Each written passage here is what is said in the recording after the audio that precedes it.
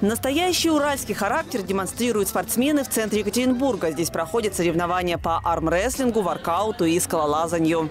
Высота 15 метров. Ну, это как классическая у нас высота. От скалолазания у меня появляется адреналин, это экстрим, мне это все нравится, и я в восторге от того, чем занимаюсь. А вот и гости из прошлого. По плотинке гуляют советские семьи и паркуются ретро-автомобили.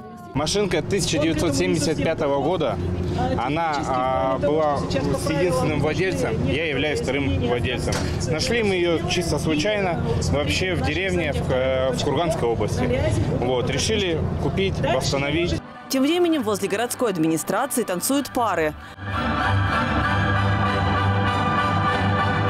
А среди молодоженов разыгрывают миллион рублей на путешествие. Счастливчиками становится пара бортпроводников. Мы в самый последний момент запрыгнули в этот вагон в участие. Поэтому было Свадьба должна была быть в неожиданно. сентябре, но Да. мы пришли в ЗАГС, и нам предложили поучаствовать. Мы не ожидали, августе. что так все будет возможно. Мы рассчитывали просто, чтобы этот день был знаменательным для нас. В этом году Екатеринбургу исполнилось 299 лет. На улице Вайнера запускают обратный отсчет до большого юбилея. Три,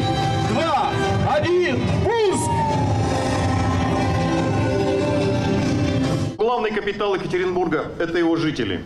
Образованные, в меру рисковые, деятельные, кто имеет собственные взгляды и смелость их отстаивать. Люди, которые уже почти три века в многонациональной гармонии приумножают силу Урала.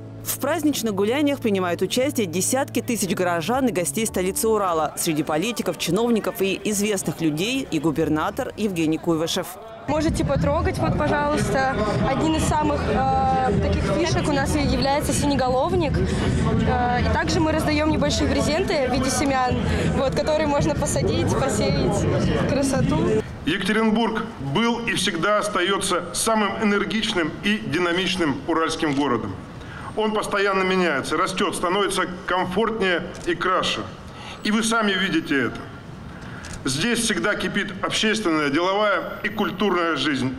Культурная жизнь в этот день кипела на нескольких сценах. В парке Маяковского театральный фестиваль, у драмтеатра фестиваль оркестров, концерты Александра Маршала и Александра Новикова. Но главная премьера на Макаровском мосту – светомузыкальное шоу.